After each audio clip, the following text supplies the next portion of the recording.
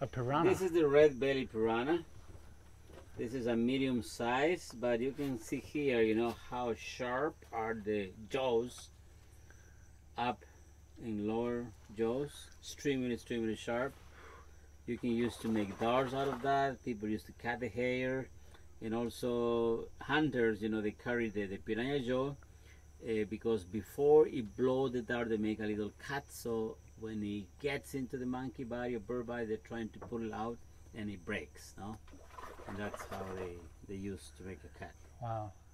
And uh, so you were telling me that the fishermen are agitating the water to simulate like a bird. Yeah, the, the, the, the sound remains like um, a bird dying that uh, fall in the water, so that makes attracts, no? It's a it's an attraction, so all the piranhas come and see what's going on there. So these are piranha infested Piranha fish. waters. They're Piranha, caimas, electric eels, stingrays. So you choose. all kinds of death. so yeah, lots of dangerous critters in this water. Aquí ustedes pueden escoger con qué les Hi, I'm Richard, and I'm on the first day of a four day Amazon tour. Right now, we're in Limoncocha Biological Reserve, a hotspot for biological diversity located on the Napo River in Ecuador. Limoncocha is a large lagoon surrounded by wetlands and rainforest habitat. The park contains an intact ecosystem, something that is becoming increasingly rare as oil development encroaches deeper into Amazonia. This reserve was set up in 1985 by the Ecuadorian government and is home to many endemic species, plants and animals that are found nowhere else in the world.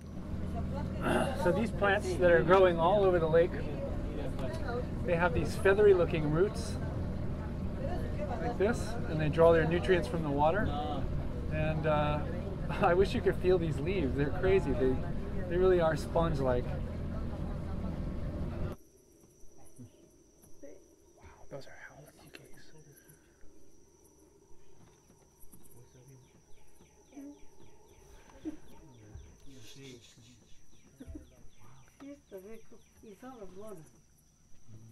Hector, did you say they were the loudest mammal or loudest animal?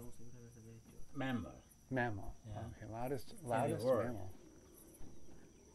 I mean, loudest voice Yeah. of mammals. Crazy. Man, that's gorgeous over there. So I am absolutely floored with this sunset right now. I mean, just look around you, completely 360 degrees.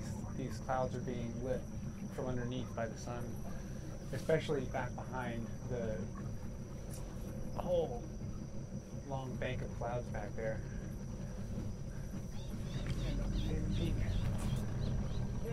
And Ibis.